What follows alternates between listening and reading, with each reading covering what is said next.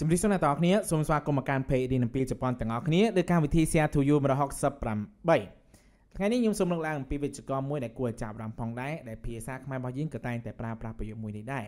ណាដែលប្រយោគមួយនេះគឺយើងបកប្រែក្នុងន័យជាភាសាខ្មែរថាបើអាចយល់ល្អបើអាចគឺយល់ល្អគុំធ្វើរឿងហ្នឹងបើអាចយល់ល្អគួរឲ្យធ្វើរឿងហ្នឹងក្នុងករណីដែលយើងឲ្យដំបូងមានទៅកាន់គេដែរក៏ប៉ុន្តែយើងចង់និយាយថា បើអត់ក៏អត់ទៅបើមានក៏ល្អមួយយ៉ាងណាបើបើធ្វើក៏ធ្វើទៅតែបើអត់ធ្វើវាល្អមួយយ៉ាងឬក៏អត់ធ្វើបើអត់ក៏អត់ទៅតែបើធ្វើវាល្អមួយយ៉ាងក្នុងករណីមួយហ្នឹងគឺយើងប្រើប្រាស់ទម្រង់វិជ្ជករក្នុងមេរៀនទី80នេះហើយដូចទៅឧទាហរណ៍ដែលខ្ញុំបានលើកឡើងនៅវីដេអូរបស់យើងគឺខ្ញុំតែងតែដើរឆ្លងកាត់ទីនេះដោយសារតែនៅមិនឆ្ងាយពីផ្ទះណាដោយសារតែវាជាផ្លូវវាងប៉ុន្តែផ្លូវមួយនេះបើអាចយល់ល្អកុំដើរតែម្នាក់ឯងនៅពេលយប់ ក៏តែបើដើរដើរទៅដើរដើរទៅអត់មានបញ្ហាអត់ដើរដើរទៅក៏តែយល់ល្អគឺកុំកុំដើរគឺយើងប្រើប្រាស់ទៅមួយចកនេះកូតូនេះកូស្តាកូតូវ៉ាវ៉ាណៃឧទាហរណ៍ក្រុមហ៊ុនរបស់ខ្ញុំរើសបុគ្គលិកទៅចោះបងលើបុគ្គលិកណាគេសួរខ្ញុំថាបងត្រូវការអ្នកមានបបពិសោធន៍អត់ខ្ញុំថាបើអត់ក៏អត់ទៅអត់ក៏អត់មានបញ្ហាដែរក៏តែបើអាចយល់ល្អគឺចង់បានមានអ្នកមានបបពិសោធន៍នេះអញ្ចឹងបើអាចយល់ល្អគឺចង់បានអ្នកមានបបពិសោធន៍ នៅពេលហ្នឹងវិជ្ជាករជាភាសាជប៉ុនគឺនេះ costa kotowa wanai ណានេះ costa kotowa wanai យើងទៅទិញអីវ៉ាន់ទិញអីវ៉ាន់គេសួរថាបងយើងគួរធ្វើម៉េចទៅទិញរបស់ថ្លៃឬក៏ទិញរបស់ថោកអីចឹងយើងថាបើវាថ្លៃទាំងអស់អញ្ចឹងយើងអត់មានចំរើសទេយើងមានតែទិញថ្លៃហ្នឹងមែនអត់ក៏ប៉ុន្តែបើអាចយល់ល្អបើមានអាថោកយើងយកអាថោកបើអត់មានទេគឺមានយកអាថ្លៃហ្នឹងហើយណាបើអាចយល់ល្អគឺយើងយកគេមួយនៅពេលនេះយើងប្រើប្រាស់នេះ Costa Kotowa កូតូវ៉ាណៃអូខេនៅមានឧទាហរណ៍ផ្សេងៗទៀតអញ្ចឹងទៅទៀតយើងមើលទាំងអស់គ្នាថាថាគេប្រើប្រាស់ក្នុងន័យមួយណាតែក្នុងន័យភាសាខ្មែររបស់យើងគឺបើអាចយល់ល្អគឺអីគេគេមួយណា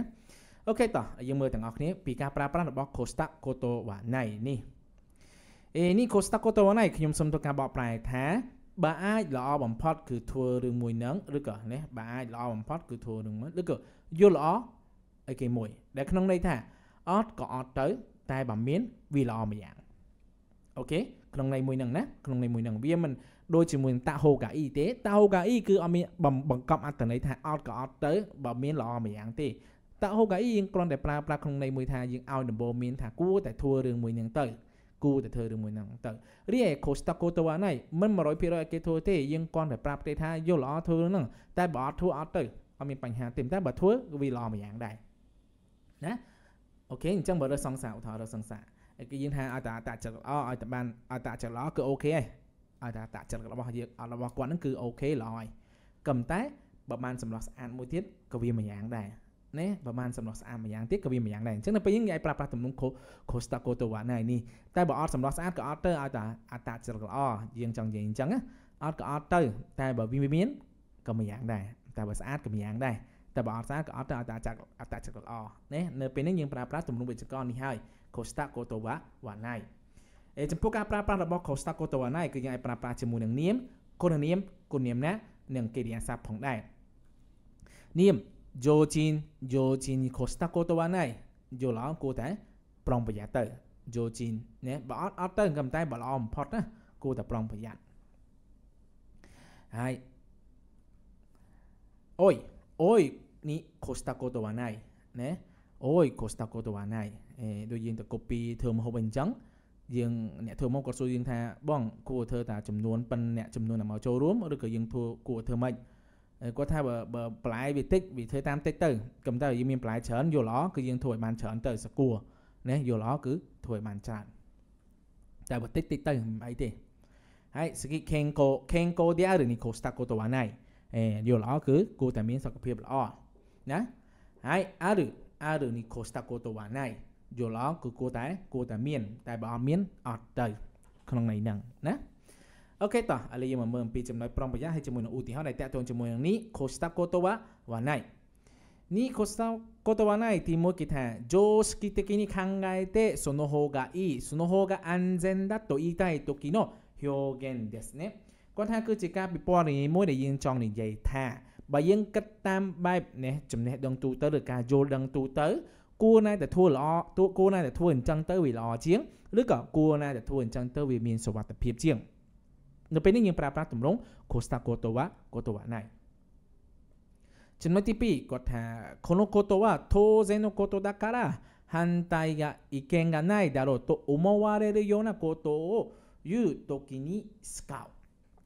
ねこのことは当然のことだからគាត់ថារឿងដែលគាត់ហូននិយាយហ្នឹងគឺជារឿងមួយដែលសាមញ្ញអ្នកទាំងអស់គ្នាអាចនឹងដឹងហើយ反対意見がないだろうと思われるようなことを言うときប្រើប្រាស់នៅពេលដែលយើងចង់និយាយពីរឿងអ្វីមួយដែលយើងគិតថាអាចនឹងអ្នកទាំងអស់គ្នានឹងគាត់ពុំមានកំណត់ប្រឆាំង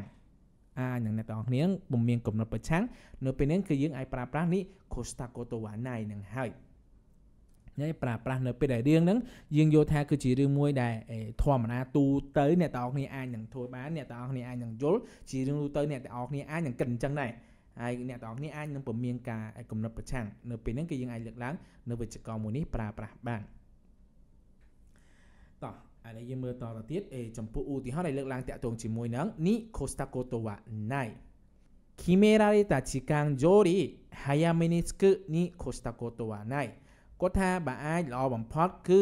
ទៅដល់ឲ្យបានមុនជាងពេលវេលាដែលបានកំណត់ឃើញត្រង់ចំណុចនេះគេបានលើកឡើងប្រយោគមួយថាឲ្យយើងទៅឲ្យលឿននៅមុនម៉ោងកំណត់អញ្ចឹងគឺជារឿងមួយដែលយើងយល់ថាអាចនឹងអ្នកទាំងគ្នាគិតថាគឺជារឿងទូទៅហើយហើយគឺជាប្រយោគមួយដែលយើងឡើងអាចនឹងអ្នកទាំងគ្នាពុំមានកំណត់ចំទាស់នោះទេមែនអត់យើងមើលមើលប្រយោគនឹងបើសិនមកលើកឡើងមានអ្នកគេចំទាស់អត់ណែយើងគ្រាន់លើកឡើងថាបើអាចយល់ល្អគឺយើងទៅទៅឲ្យមុនម៉ោង អញ្ចឹងគឺជាកំណត់មួយដែលយើងលើកឡើងដោយយើងគិតថាអាចនឹងពុំមានពីណាគេនឹងចំទាស់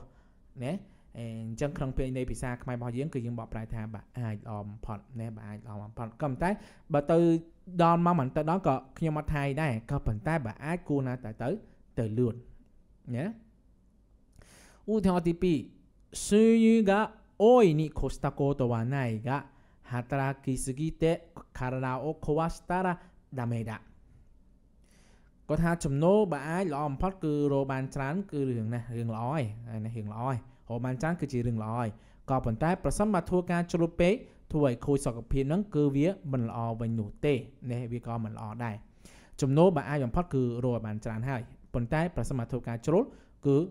ធ្វើឲ្យយើងខូចសុខភាពហ្នឹងគឺក៏មិនល្អដែរណាអញ្ចឹងកាលនេះគាត់ថាបើបានបើមានណាបើអាចវាល្អហើយបើច្រើនណោះចំណូលក៏ប៉ុន្តែយើងធ្វើការជ្រុលក៏មិនល្អដែរណា ណែបើអាចតែបើអាចនេះក៏សកលគូណាតែមានចំណូលច្រើនហើយកំតែមិនគួរធ្វើការជ្រុលពេកនោះទេឧទាហរណ៍ទី3គឺ僕の人生の目的はお金を儲けることではなく好きな人と幸せに生きることだもちろんお金があるに越したことはないけどね僕の人生の目的は គោលដៅនៃឆាកជីវិតរបស់ខ្ញុំគឺមិនមែនជាការចំណេញលុយឬក៏មិនមែនជាការរកលុយនោះទេ គឺគឺជាការរឿងអីគឺជាការរស់នៅដោយមានសុភមង្គលជាមួយនឹងមនុស្សដែលយើងស្រឡាញ់មួយឆ្នាំជាក់ស្ដែងហើយប្រកបហើយបើសិនមកមានលុយវាក៏ល្អមួយយ៉ាងដែរនេះអូគនេវ៉ាអារនីកូស្តាកូតវ៉ាណៃខេតូណេដែលយើងមកប្រែថាបើមានលុយក៏ល្អមួយយ៉ាងដែរ តែបើអត់អត់ទៅព្រោះគោលដៅរបស់ខ្ញុំមិនចង់ដើម្បីលុយដើម្បីលុយណាគោលដៅរបស់ខ្ញុំគឺចង់រស់នៅដោយសុភមង្គលជាមួយនឹងអ្នកដែលខ្ញុំស្រឡាញ់ក៏ប៉ុន្តែបើមានលុយវាក៏ល្អមួយយ៉ាងដែរ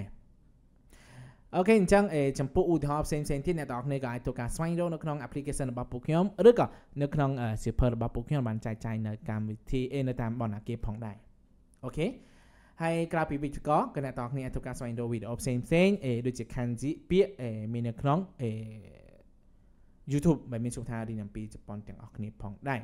ជាចុងក្រោយគឺជាឧទាហរណ៍ដែលខ្ញុំបានលើកឡើងនៅដើមវីដេអូរបស់យើងគឺខ្ញុំតែងតែដើរឆ្លងកាត់ទីនេះដោយសារតែនៅមិនឆ្ងាយពីផ្ទះប៉ុន្តែផ្លូវនេះបាទអាចយល់ល្អគឺកុំដើរម្នាក់ឯងនៅពេលយប់ណាអញ្ចឹងកុំដើរម្នាក់ឯងនៅពេលយប់ក៏វាល្អមួយយ៉ាងដែរក្នុងន័យមួយហ្នឹងជាភាសាជប៉ុនគឺ家まで近いからよく、えー、通っているけどこの道は夜一人で歩かないに ខុសតាកោតវ៉ាណៃញ៉េយល់អត់កុំដើរតែម្នាក់ឯងឬក៏កុំដើរម្នាក់ឯងនៅពេលយប់ទៅវាល្អមួយយ៉ាងដែរអូខេអញ្ចឹងចំពោះអ្នកដែលចង់ធ្វើការ comment ឬក៏ចង់ធ្វើការស្រាវជ្រាវបន្ថែមសូមធ្វើការស្រាវជ្រាវនៅក្នុង application របស់ខ្ញុំឬក៏ក្នុងសៀវភៅរបស់ខ្ញុំណាហើយសម្រាប់អ្នកដែលគាត់យល់ហើយក៏ចង់សាកល្បងបង្កើតប្រយោគផងដែរសូមធ្វើការសរសេរ comment នៅខាងក្រោមវីដេអូមួយនេះ អូខេអញ្ចឹងខ្ញុំសូមបញ្ចប់អីនៅមេរៀននេះ Costa Cotowana តែប៉ុណ្ណេះហើយយើងនឹងជួបគ្នាជាថ្មីម្ដងទៀតនៅមេរៀនក្រោយៗទៀតបាយបាយ